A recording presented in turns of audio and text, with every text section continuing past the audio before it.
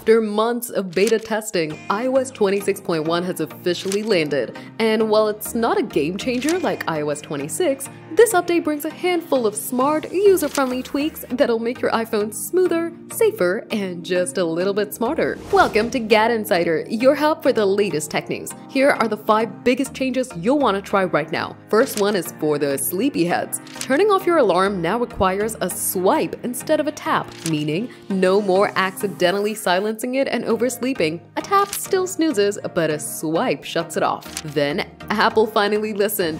The polarizing liquid glass interface now comes with a tinted option that softens transparency and reduces eye strain. You can find it under Settings, then Display and Brightness, then Liquid Glass. Music lovers, this one's for you. You can now swipe the mini player bar to skip forward or back between songs. Quick and ideal for when your phone's in one hand and your vibe depends on the next track. iOS 26.1 also adds a setting to auto-install background security improvements like mini updates that patch vulnerabilities between major releases. For this, just head to Settings, then Privacy and Security, and flip it on for extra peace of mind. And if you're tired of accidentally opening your camera, you can now disable the lock screen swipe to camera gesture. It's your choice to keep it quick or lock it down. iOS 26.1 isn't flashy, but it is full of practical polish of the kind that makes your iPhone feel just right. Do you like the new update? Let us know in the comments. Give the video a thumbs up, subscribe to Gad Insider, and don't forget to hit the bell icon so you never miss any tech update.